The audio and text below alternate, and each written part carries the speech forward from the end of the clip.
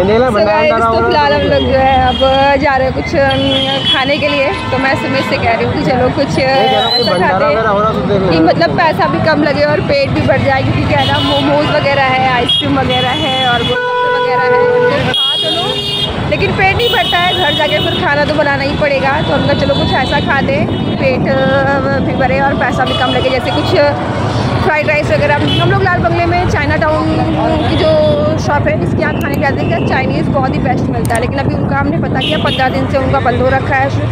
और एक तारीख के बाद फिर खुलेगा। तो हम लोग दूसरी कोई शॉप बढ़िया खाने वाली देख रहे हैं कि जहाँ पे टेस्टी सा कुछ खा ले ताकि जो है घर जाके फिर मुझे खाना बनाना पड़े, मेरा तो उतने में ही काम हो जाएगा।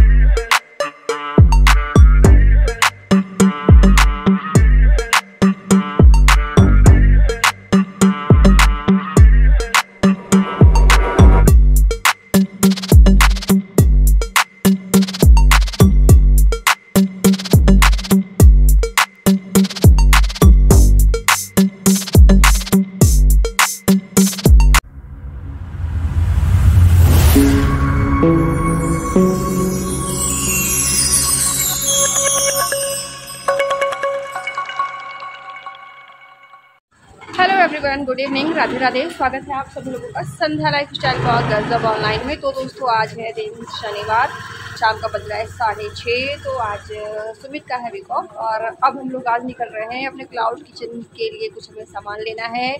कुछ चीज़ों की रिक्वायरमेंट है और कुछ खाने वाली चीज़ें भी ख़त्म हो गई हैं तो वो सारी चीज़ें हम लोग लेने जा रहे हैं। और हाँ अपने किचन के लिए आज हम लोग बढ़िया वाली अच्छी वाली मिक्सी वैसे तो मिक्सी हमारे पास हमारे घर में दो दो हैं लेकिन हाँ मिक्सर ग्राइंडर जो है हमें क्लाउड किचन के हिसाब से लेना है, क्योंकि उसमें हम काफ़ी सारे आइटम भी बढ़ाने वाले हैं।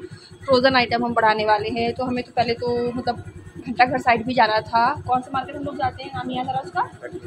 हटिया जाते हैं, लेकिन अभी रात हो गई है। सब लोग साढ़े छः बज रहा है तो अभी टाइम हो गया ज़्यादा। हम लोग हटिया कल जाएँगे। अभी हम लोग जो लाल बंगले मार्केट जा रहे हैं रॉयल बेकरी जा रहे हैं। तो वहाँ से सारी चीज़ें लेके आते हैं और देखते हैं ग्राइंडर और मिक्सर हम लोग किस तरह का लेते हैं, हमें कैसा पसंद आता है। तो फ़िलहाल चलो देर नहीं करते हैं। स्कूटी हमारी स्टार्ट है, इससे पहले बंद हो जाए, क्योंकि सबसे स्टार्टिंग होती है किक मारने वाली है। से स्कूटी में बैठ जाते हैं और निकलते हैं मार्केट की तरफ़ और देखते हैं कि मिक्सर ग्राइंडर पसंद आता है कि नहीं पसंद आता है, किस तरह का पसंद आता है। और रॉयल बेकरी में हम जब भी जाते हैं ना तो पाव ख़त्म हो चुके होते हैं, बहुत ही कम मिल पाते हैं तो रॉयल बेकरी में हमें पाव मिलता है कि नहीं मिलता है। तो चलते चलते हैं हम देखते हैं, किस तरह का क्या रहता है।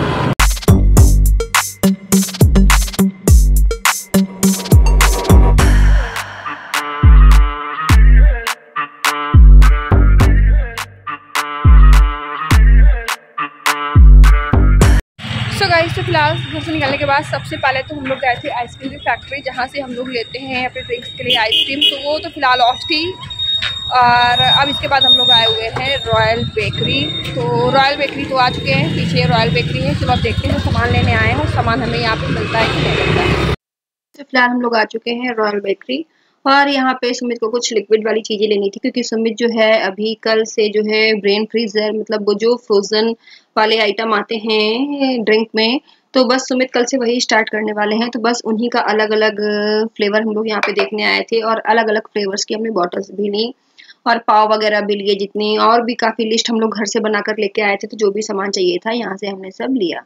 सो गाइस तो सामान हमने यहाँ से ले लिया है और जो जो सामान हम लोग लेने आए थे, हमको सारा सामान मिल गया है, सब कुछ मिल गया है, सारी चीज़ें अपने से। पाव का दिक्कत रहता है, पाव कम मिल पाता है। लेकिन आज हमको यहाँ पे पाव भी मिल गया है तो सारी चीज़ें ले ली। और जो नहीं लेने आए थे उनसे एक्स्ट्रा भी हम लोगों ने ले ली, क्योंकि यहाँ पे आते हैं ऑफ़र अच्छा खासा रहता है तो फिर ऑफ़र में दिखता है तो फिर हम लोग जो है ना, वो सामान ले लेते हैं कि बाद में काम आएगा फ्रिज में जाकर फ्रिज कर देते हैं। तो फ़िलहाल चलिए सामान लेके अब हम लोग निकल रहे हैं लाल बंगले के लिए। लाल बंगले में चलेंगे, वहाँ पे मिक्सर वगैरह मिक्सर ग्राइंडर वगैरह देखना है तो फ़िलहाल वो देखेंगे।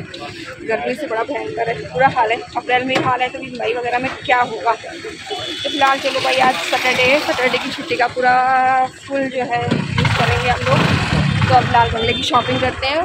पहुँचते हैं लाल बंगले। तो आप मैम नहीं बोली नहीं हम इंग्लिश बोलेंगे। है? इंग्लिश बोलेंगे।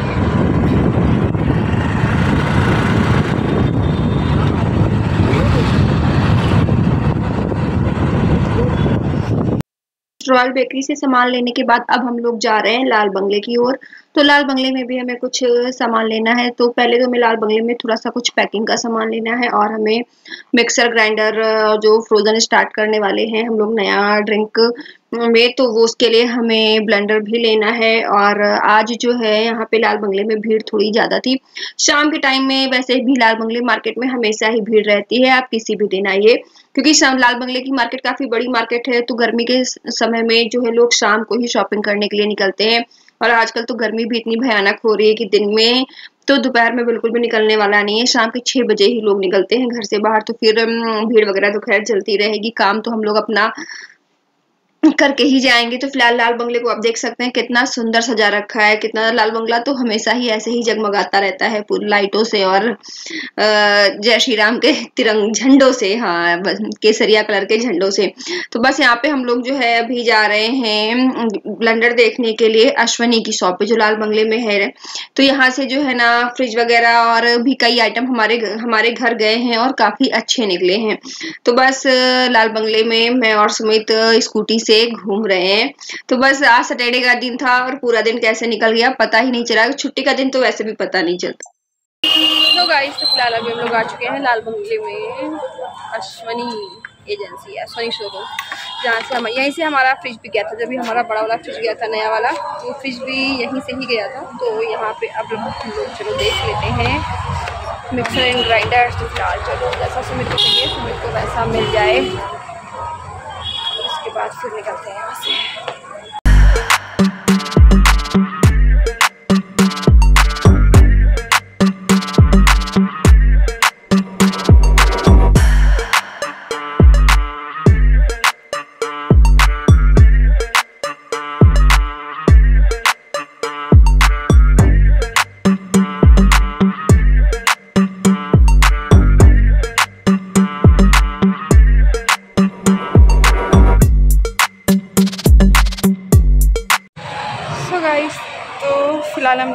बोरोसिल का जो है मिक्सर मिक्सर ग्राइंडर नहीं है। जैसा वो फ्रोज़न का आइटम सुमित को रेडी करना है तो जैसा सुमित को चाहिए था वैसा ही लिया है।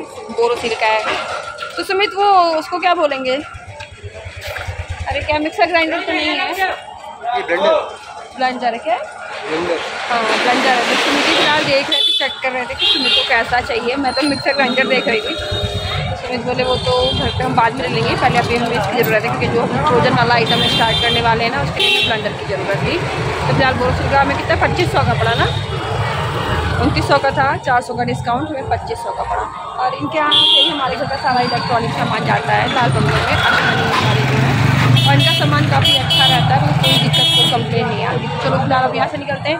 पर भूख लगी है, अब थोड़ा सा कुछ खा लेते हैं, उसके बाद फिर चलेंगे थोड़ा सब्ज़ी मंडी। थोड़े से फ्रूट्स वगैरह लेंगे थोड़ी सब्ज़ी लेंगे और उसके बाद फिर निकलेंगे घर के लिए। पैसा भी ना जाए। तो फ़िलहाल हम लोग जो है अब जा रहे हैं कुछ खाने के लिए। तो मैं सुमित से कह रही हूँ कि चलो कुछ ऐसा खाते तो कि मतलब पैसा भी कम लगे और पेट भी बढ़ जाए क्योंकि क्या है ना मोमोज वगैरह है आइसक्रीम वगैरह है और वगैरह है। खा तो लो। नहीं है, घर जाके फिर खाना तो बनाना ही पड़ेगा। तो हम चलो कुछ ऐसा खा दें, पेट भी भरे और पैसा भी कम लगे, जैसे कुछ फ्राइड राइस वगैरह। हम लोग लाल बंगले में चाइना टाउन की जो शॉप है, इसके यहाँ खाने जाते हैं। चाइनीज़ बहुत ही बेस्ट मिलता है, लेकिन अभी उनका हमने पता किया, पंद्रह दिन से उनका बंद हो रखा है। और एक तारीख के बाद फिर खुलेगा। तो हम लोग दूसरी कोई शॉप बढ़िया खाने वाली देख रहे हैं कि जहाँ पे टेस्टी सा कुछ खा ले ताकि जो है घर जाके फिर मुझे खाना बनाना पड़े, मेरा तो उतने में ही काम हो जाएगा और सुमित बोल रहे हैं, आज वो खाएँगे बिरयानी। तो फ़िलहाल मैंने अभी जो है ना नॉनवेज वगैरह सब, से थोड़ी सी दूरी बना रखी है डिस्टेंस बना रखा है नॉनवेज छोड़ रखा है। तो फ़िलहाल मैं यहीं पे छठी पेट धर के खा लूँगी ताकि मुझे घर पर अपने लिए कुछ खाना ना बनाना पड़े और, सुमित खाएँगे बिरयानी। तो फ़िलहाल चलो देखते हैं खाने के लिए क्या मिलता है यहाँ पर तो फ़िलहाल हम लोगों ने लाल बंगले में अभी कुछ नहीं खाया है क्योंकि हमारे खाने लायक कुछ मिला नहीं जो खाना है और अभी हम लोग आ गए हैं सब्ज़ी तो चलो यहाँ से थोड़ी सब्ज़ी और थोड़े फ्रूट्स ले लेते हैं। खाने वाला आइटम उसके बाद देखेंगे कि हमें कहाँ क्या खाना है। जो सब्ज़ी मंडी के बगल से गुजर रहे थे सब्ज़ी मंडी से थोड़ी सब्ज़ी और फ्रूट्स वगैरह हम लोग खरीद लेते हैं। क्योंकि यहाँ पर सब्ज़ी ठीक मिल जाती है, बाकी तो सबके सामने से जो निकलते हैं ना, वो तो बहुत ही महँगा देते हैं। तो फ़िलहाल अभी हमारी मार्केट में आम आने लगा है। जूस वाला आम है तोता परी आम। तो सौ का डेढ़ किलो आम है। तो फ़िलहाल हम तो अभी दो ही ले रहे हैं, दो में जितना चढ़े पहले घर जाके खा के देखेंगे मीठा है कैसा है। उसके बाद डेढ़ किलो। फ़िलहाल सौ का डेढ़ किलो है तो हम लोगों ने ले लिया है दो आम ले लिए हैं।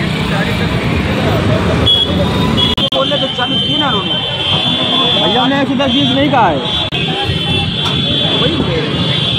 फ़िलहाल पचास रुपये दर्जन है। भैया एक दर्जन एक दर्जन ले लें? भैया एक दर्जन दे दीजिए। ये वाला भी आम सौ का डेढ़ किलो ही है। आप एक केला एक दर्जन दे दो।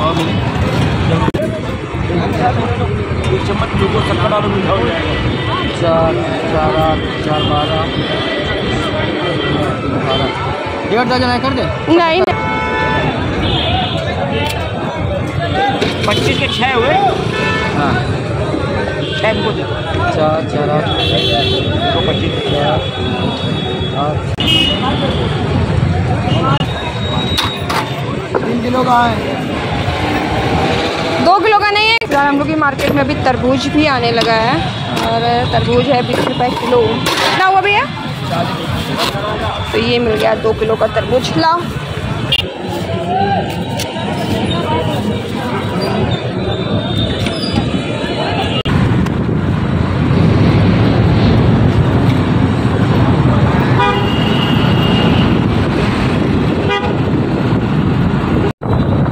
तो गाइस तो सब्ज़ी मंडी से हम लोगों ने सब्ज़ी वगैरह नहीं ली कि सब्ज़ी ऐसे कुछ समझ में नहीं आ रही थी क्या ले सब्ज़ी थोड़ी बहुत घर पे रखी है थोड़े फ्रूट्स लेने थे जैसे कि तरबूज केला और आम वगैरह तो इनके जो है ना तो यही तीन चीज़ें लेनी थी हमें तो फिर हमने सब्ज़ी मंडी से थोड़ा सा आगे आके ये जो फल वाली मंडी लगती है फल वाली मंडी से थोड़े से फल लिए और फल लेके अब हम लोग निकल रहे हैं घर की तरफ़ अब देखते हैं कुछ खाने पीने का इंतज़ाम देखते हैं कुछ खाने पीने का इंतज़ाम हो जाए बंगले से हम लोग निकल लिए घर के लिए और आज है शनिवार तो शनिवार को हम और सुमित जाते हैं शनि देव के मंदिर तो वहाँ पे जो है सरसों के तेल का दिया जलाकर आते हैं तो बस वही जो है सुमित बाहर खड़े हुए हैं मंदिर के और मैं आई थी यहाँ पे दिया लेकर शनि देव के मंदिर में दिया जलाने के लिए तो बस यहाँ पे दिया जलाया और सन, ये जो मंदिर है ना हमारे घर के पास सनगवा रोड पे है तो वहीं का ये वीडियो है तो शनिवार के दिन भी मंदिर में काफ़ी भीड़ रहता है। वैसे ये मंदिर जो है ना, हनुमान जी का है। तो बस हनुमान जी और यहाँ पे सारे देवी देवता मिलेंगे आपको। तो बस यहाँ पे यही था हमारे ब्लॉग का लास्ट सीन तो बस यहाँ पे हमने शनिदेव का दिया जलाया और सामने जस्ट थी गन्ने की शॉप गन्ने की जूस की शॉप तो यहाँ पे हम लोगों ने पिया गन्ने का जूस तो दोस्तों, चलिए आज का सैटरडे का ब्लॉग यहीं पे स्टॉप करते हैं। और हमारे चैनल को सब्सक्राइब ज़रूर कर लीजिएगा और फिर मिलती हूँ आपसे संडे के कॉर्नर ब्लॉग के साथ। तब तक के लिए बाय